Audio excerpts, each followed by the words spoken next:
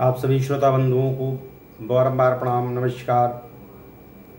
मित्रों, बहुत मेहनत और कोशिश करने के बाद में आज जानकारी लेके आया हूँ और ये जानकारी ऐसा है कि आपका मन तो खुशी हो जाएगा, खुश गदगद हो जाएगा और मेरा भी मन प्रसन्नता से भर गया है।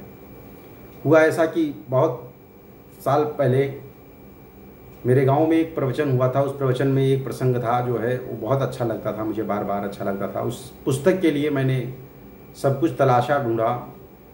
इवन गीता प्रेस भी कई बार मैंने सर्च मारा, लेकिन दुर्भाग्यवश नहीं मिल पाई पुस्तक वो दुर्भाग्यवश नहीं मिल पाई और हमने कोशिश किया कि ये पुस्तक मिल जाए तो फिर हम आप लोगों को उस जानकारी को शेयर कर सकें।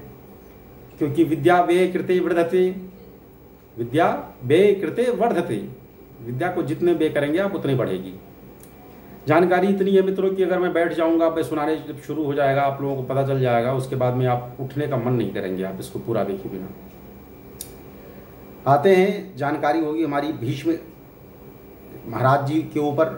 भीष्म महाराज थे, मुनि थे, ऋषि थे, महापुरुष थे, सब कुछ थे, सर्व सर्वगुण संपन्न थे, और हम जानते हैं कि भीष्म की प्रतिज्ञा के बारे में तो विश्वविख्यात है। अब मित्रों, चूँकि हम शुरुआत कर रहे हैं इस भीष्म प्रतिज्ञा रूपी कथा को तो हमें चाहते हैं कि भीष्म से संबंधित जितनी भी कथाएँ हैं सारे को बताया जाए, सारी जानकारियाँ, कोई भी संशय ना रहे कहीं पे। तो भीष्म कहाँ से पैदा हुए, क्या थे, और कैसे श्राप मिला, क्या हुआ, कैसे हुआ, आशीर्वाद कहाँ क्या मिला? हम शुरू करते हैं, भीष्म थे कौन? और कैसे हुए, इस पे आते हैं। तो क्या होता है कि हम जब पुरानी कथाओं में जाते हैं तो उसमें लिखा हुआ है कि दक्ष महाराजा की जो पुत्री थी, एक पुत्री थी बसु। उसकी शादी हुई थी धर्म जी से। जब बसु के संतान जो उत्पन्न हुए, आठ संतान हुए और उनका नाम जो भी था, उसमें आठ बसु हुए। अब आठ बसु हो गए, उनमें सबसे छोटे थे देव अब सब लोग भगवान की सुरक्षा में रहते, विष्णु जी की सुरक्षा में रहते थे। अब, मित्रों, क्या करें? मच्छर भन्न भन्न मार रहे हैं। खैर, गाँव में ऐसा होता है, लेकिन कोई बात नहीं है, मज़ा तो इसी में आता है, ठीक है। आनंद तो भी आता है जब आप कभी कष्ट देकर कुछ करें, कुछ तपा कर कुछ करें। इस कथा को सुनने के लिए लोग क्या क्या मेहनत करते हैं, कितनी दूर चले जाते हैं। आपको इस भीष्म प्रतिज्ञा रूपी कथा को सुनाने के लिए कितनी जानकारियाँ लेके आए हो, कितना मेहनत करने के बाद में पुस्तकें मिला, कहाँ से मिला, कैसे मिला, ये सब तो बात की बात है। तो उन आठ संतानों में सबसे छोटे देव थे। देव की जो पत्नी थी, उन्होंने कहा कि ऐसा है कि मुनि वशिष्ठ के आश्रम में गाय बहुत बढ़िया बढ़िया हैं। तो एक गाय ले आओ।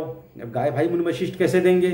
तो वह चुरा लाओ। तो आठों बस गए चुराने। तो अब चुराने गए तो मुनि वशिष्ठ सो पंडित ज्ञानी। इतनी बड़े विद्वान प्रकांड भविष्य के जानने ज्ञात ज्ञाता। मुनि वशिष्ठ को पता चल गया। उन्होंने श्राप दे दिया। आठों लोगों को श्राप दिया और श्राप ये दिया कि आप जाकर मनुष्य योनि में जन्म लेंगे। जब ये लोग सुने, परेशान हो गए कि मनुष्य योनि में जाके जन्म लेना पड़ेगा। अब वशिष्ठ के चरणों में लोट पोट गए। जब वशिष्ठ महाराज जी के चरणों में लौट गए तो उन्होंने कहा कि ठीक है, आप लोग अब चूँकि कह दिए हैं जाना है तो जाना पड़ेगा आपको। लेकिन अल्पकालीन के लिए जाओगे और कुछ समय पश्चात आप पुनः वापस आ जाओगे। सबसे छोटे थे दो, जिसने मुराही किया था।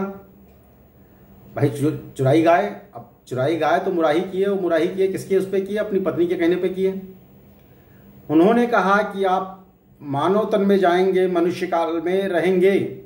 लेकिन आपको दीर्घकालीन के लिए तक रहना पड़ेगा। और अपने पत्नी के कहने पर आप ऐसा काम किए हैं तो मैं आपको ये श्राप देता हूँ आशीर्वाद देता हूँ। आप जो भी लेना है, जैसे लेना है कि आप बिना पत्नी के रहेंगे दीर्घ काल तक रहेंगे और अविवाहित रहेंगे।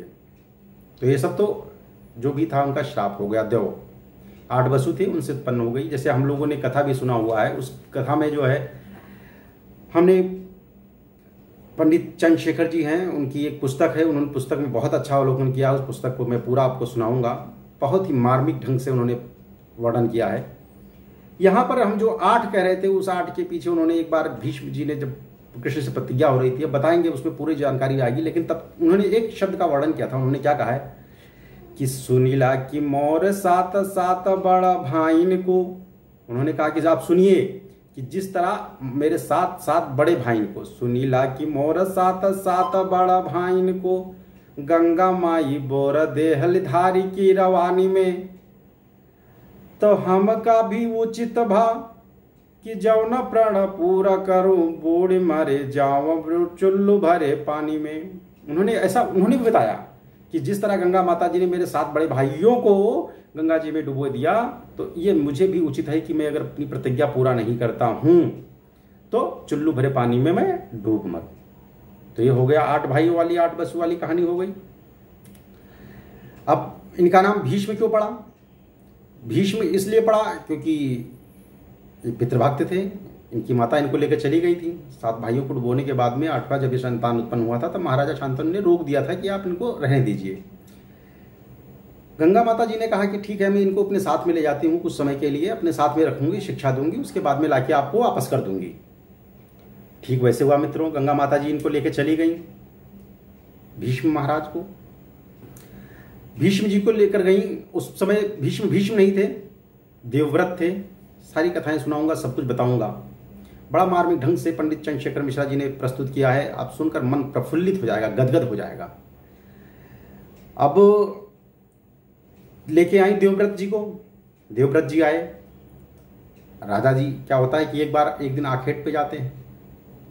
आखेट पे जाने पर कहीं, वहीं पे अपना आपस में जो भी है, ठीक है, अब आप लोग समझ ही जाते हैं किसी से जो है मुलाकात हो गई, मुलाकात हो गई तो उससे शादी का प्रस्ताव रखे शादी का प्रस्ताव जब रखते हैं तो कहते हैं कि मेरे पिताजी से बात करिए। अब पिताजी से बात जब किए, पिताजी ने कहा कि ऐसा है कि मैं शादी एक ही शर्त पे कर सकता हूँ कि जब मेरे पुत्र का जो संतान होगा, वही हस्तिनापुर का राजा बनेगा। जो कि असंभव था, क्योंकि बड़े पुत्र हमारे भीष्म जी महाराज थे। अब वहाँ से शांतनु महाराज चले तो आए, लेकिन बहुत परेशान रहने लगे। भाई, जो अपना शुभ चिंतक होता है शुभचिंतक कोई भी हो पुत्र हो पत्नी हो नारी हो घर की परिवारी हो बाहर की दुआरी हो जो भी हो रखवाली हो कोई भी हो अगर अपना शुभचिंतक है तो बड़ा ध्यान देता है वो। आपके सुख दुख में हमेशा साथ रहेगा कि आप क्या हुआ आपका? आप नाराज़ रहेंगे तब भी पता चल जाएगा आप खुश रहेंगे तब भी पता चल जाएगा। जब भीष्म को पता चला भीष्म जी ने कहा क्या रीजन हो सकता है? रीजन तो उस टाइम था, था नहीं जो है। क्या कारण हो सकता है? कारण तलाशने का प्रयास किया तलाशते तलाशते अब कैसे कारण पता चले तो जो महाराजा जी के, शांतनु महाराज के सारथी थे, उनसे पूछा। अब चूँकि सारथी के साथ में साथी होते हैं, साथी रहे थे। सारथी ने बताया कि ये ऐसी घटना हुई है, फिर उन्होंने जाकर के वो उसके पास गए, उनके पिताजी के पास गए, उनके पिताजी ने फिर ये प्रस्ताव रखा। इन्होंने कहा कि ठीक है, मैं आज से प्रण लेता हूँ कि मैं पूरे जन्म अविवाहित रहूँगा। अब ये बात महाराजा शांतनु को पता चली। तो महाराजा शांतनु को जब पता चली तो महाराजा शांतनु ने इनको आशीर्वाद दिया कि आपको मैं इच्छा मृत्यु का वरदान देता हूँ। और दूसरा वरदान दिया कि आज से आपको लोग भीष्म कहेंगे। भीष्म मतलब होता क्या है? कठोर। क्योंकि इनकी प्रतिज्ञा क्या होती थी? बहुत कठोर होती थी। इनकी प्रतिज्ञा कठोर थी तो इनका नाम उन्होंने क्या दिया? भीष्म। भीष्म प्रतिज्ञा। अब हम यहाँ से आगे की कथा शुरुआत करेंगे। भगवान इसमें क्या है कि भगवान कृष्ण से युद्ध करना होता है भीष्म को, और भगवान कृष्ण के सामने भगवान कृष्ण की ही सौगंध खाते हैं, और भगवान कृष्ण को ललका, किस तरह ललकारते हैं, इसका वर्णन हम आगे करेंगे। अब चूँकि वीडियो बहुत बड़ा हो जाता है मित्रों, और मैं जानता हूँ, मैं समझ सकता हूँ आप लोगों की परेशानी तो मैं कोशिश यही करूँगा कि एक एक अध्याय खत्म किया जाए। अब आग, आगे हमारा अगला अध्याय जो होगा वहाँ पर होगा भीष्म और कृष्ण का जो वाक युद्ध होता है या फिर जो भी प्रण लेते हैं भीष्म कि किस तरह मैं आपसे शस्त्र उठवाऊँगा। अगर शस्त्र नहीं उठवा सका तो क्या करूँगा कैसे करूँगा इसका हम लोग उल्लेख बहुत किताबों में पढ़ते हैं। यहाँ तक कि हमने सूरसागर जो सूरदास जी महाराज हैं उन्होंने भी सूरसागर में इसका वर्णन किया हुआ है। कि आज जब हर ही न शस्त्र गहाऊं,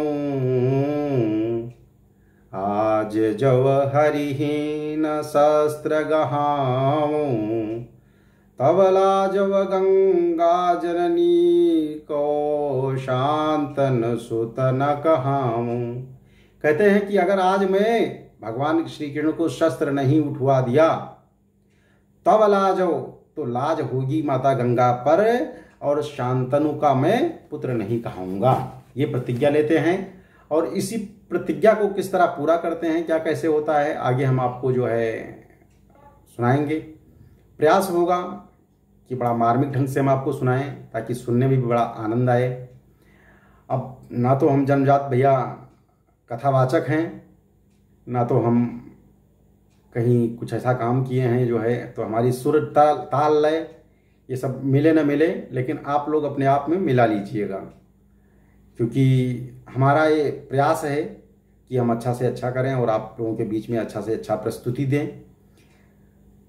किसी कारणवश कुछ समस्याएँ हो सकती हैं, वो समस्याओं का दूर किया जाएगा। आप इतना सुनिए, इसके बाद बताइए कैसा लगा, बाकी हम आपको कल मिलेंगे। अगर आपको अच्छा लगेगा तो हम आगे का कार्यक्रम जारी रखेंगे।